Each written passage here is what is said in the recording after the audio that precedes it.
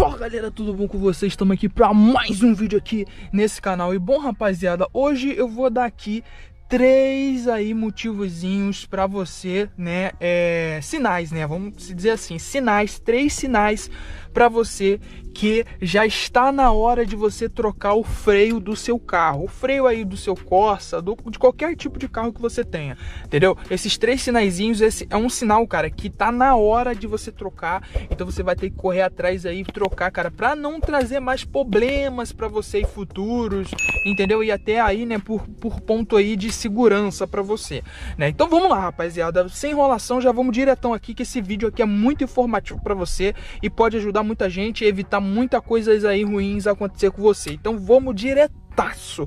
Vamos lá, rapaziada. A primeira coisa aí, né, que foi uma coisa que aconteceu comigo, tá? E, né, rapaziada, pô, eu tomei um susto do caramba, já falei acho que disso muito tempo, né? Mas vale a pena ressaltar aqui para vocês ficarem de olho, né, que é o que? Rapaziada, é, vocês têm que analisar aí quando vocês botarem um pé no freio, lá no freio, ó você botar o pé no freio e você sentir que o pé tá afundando muito, sabe? Quando você afunda, você afunda assim, perde o freio, você e caraca, você tá andando aqui, você afundou o pé e no freio e o freio vai afunda mais ainda, entendeu? Então, isso aqui é um caso bem gravezinho que, né, você tem que ficar de olho e tem que já levar no seu mecânico, cara, porque agora eu vou contar aqui o que eu é, já tinha é, passado para você que foi o que aconteceu comigo. O que que aconteceu? Foi exatamente isso que eu falei. Rapaziada, eu tava dirigindo o carro, né, tranquilamente, o Coça, e o que que aconteceu? Cara, na hora que eu tava na pista, rapaziada, tava um engarrafamentozinho, então eu tava indo meio e freando ali e tal, devagarzinho, né? E fazendo aquela, aquela contenção ali, né? Com aquela contenção de engarrafamento, você vai fazendo controle ali com a embreagem, com o freio e tal, parando, pá, né? E, rapaziada, nessa que eu tava indo, cara, chegou uma hora que eu tive que parar o carro, na hora que eu botei o pé no freio, cadê? Não tinha freio nenhum. E eu forçando, botando o pé assim, ó bombeando, bombeando, bombeando para ver se tinha freio, não achava freio de jeito nenhum, fiquei meio naquela né, coisa assim, eu já, né, fiz a estratégia, a estratégiazinha aqui do freio de mão, né? Então, tava assim, né, o freio de mão abaixado, eu já vim puxando devagarzinho, devagarzinho, botando o pé no freio assim, com o pé na embreagem, né, afundado e fui devagarzinho, né? Porque se eu puxar de vez, né, aí vai, né, dar aquele aquele puxão, aquele travão no carro, né? Então vem puxando devagarzinho assim, e aí o freio voltou, aí eu fui lá e soltei, né, de novo o freio de mão e o carro parou. Claro, isso tudo eu tava numa velocidade bem de boa, tava tipo, tava engarrafado, então tava bem pouca, o carro tava indo andando, pô. Se eu não faço isso, eu ia bater no carro da frente, mano. Então, se é louco, ia trazer um prejuízo do caramba, mano, olha, ia ser fogo, entendeu? Porque, né, você que tá atrás, se você tá atrás e você bate no carro da frente, quem paga o conserto do carro da frente é você, entendeu? Não tem isso. É por mais que você, por exemplo, você tá dirigindo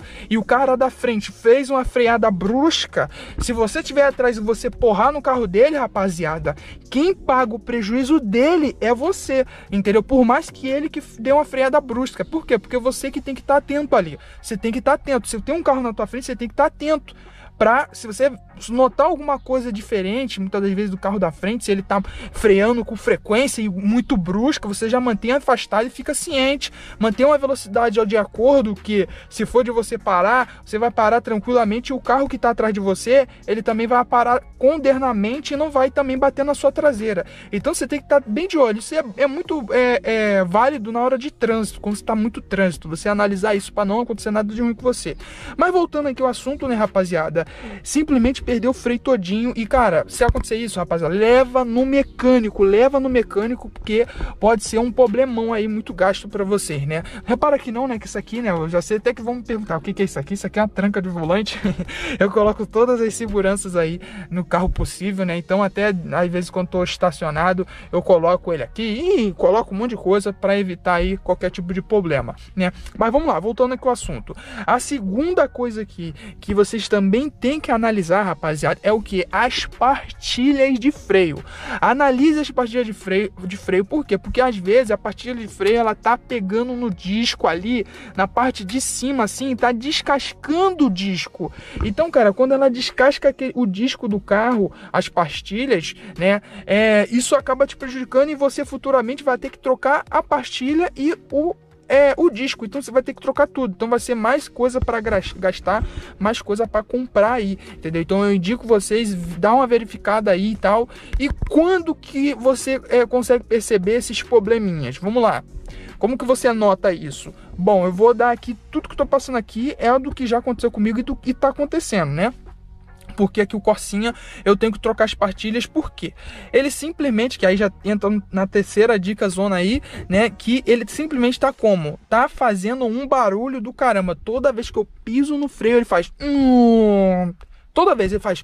Uh, entendeu? Aquele barulho. Uh, sabe? Parecendo que tem alguma coisa puxando ele e, e arrastando, sabe? Uh. Então, rapaziada, isso aí a gente já tá notando que o quê? Que o, o simplesmente a as pastilhas ela tá arrastando ali no disco na parte de cima, então tá fazendo aquele barulho e, né, acaba desgastando até mais rápido, entendeu? Então, né, por precaução, eu já vou até trocar o, as pastilhas para não acontecer de eu ter que trocar o disco. Porque senão, mano, eu vou ter que trocar o disco todo do carro. Então é aquela coisa, vai ser a pastilha e o disco, né? A pastilha eu já até tenho, rapaziada, já até comprei, já tá até aqui comigo. Mas aí, né, se der algum problema aí no disco, eu vou ter que trocar o disco ali também e vai ser mais dinheiro gasto, entendeu? Então é aquela coisa, entendeu, rapaziada? Então é isso, né? É, esse aqui são as três dicasinhas aí, mano, muito rápido aqui, bem de boa, entendeu? Tudo sobre aí a parte ali do freio, cara, analisa isso tudo para não dar problema nenhum para vocês, né? Como eu falei, é, você pega ali, se tiver, não tá botando o pé no freio lá e não tá dando freio, mano, já leva no seu mecânico ou chama ele se tiver muito grave para ele ir lá no local da tua casa ou, ou onde tá o carro para poder analisar e fazer aí o procedimento, né? Ele vai trocar algumas coisas, né? Eu creio que sim ou não, sei lá. Ele vai resolver o problema, né? Aí vai ver o que, que tá acontecendo e em questão também ali do, do, da, do disco e da, do, das pastilhas ali de freio, cara, vai leva lá também para poder não ter mais problema com você. Às vezes o seu problema é só trocar ali a pastilha e show, ok, fechou. E se você deixa aí muito tempo e o carro você tá vendo que a parada tá fazendo um barulho toda vez que você tá dirigindo, o carro faz aquele freadão, aquele, aquele barulho estranho, hum, entendeu? Aquele, aquela vibração, né? É, e pode ser que se você ficar deixando isso passar aí com frequência, pode ser que vai dar um problema aí para você e cara, mais problema aí para você trocar no seu carro. Entendeu, rapaziada? Então é isso, né? É um videozão aí bem informativo para vocês, né? Aqui com Corsinha, né? Só passando aí é, e eu espero que eu tenha ajudado aí todos vocês com esse vídeo aí, entendeu? Então, é, tô passando aqui, claro, o que tá acontecendo também aqui com Corsinha. Falei, a gente vai ter que trocar as pastilhas. Então, eu já tô aqui também passando para vocês para qualquer coisinha vocês tá com esse problema, faça também esse procedimento troque para não dar problema futuro para vocês, né? É, faça enquanto é tempo para vocês também não ter um problema aí pela rua, né? E né, já era, né, mano? A gente sabe quando o carro dá enguiça ou dá um problema na rua é horrível, né, cara? A gente tem que, às vezes tem que chamar reboque, às vezes tem que chamar alguém para ir lá resgatar a gente. Então é, é, complicado, rapaziada. Então já, né, fica aí é, resolvido antes de acontecer o pior. Tamo junto, é nóis, valeu. Espero que eu tenha te ajudado. É nóis, rapaziada, e até os próximos vídeos. Ei, fui.